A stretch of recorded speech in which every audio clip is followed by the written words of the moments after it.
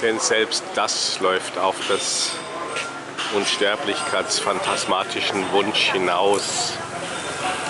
Wenn ich das reale Wahrnehmen und dessen Struktur erkennen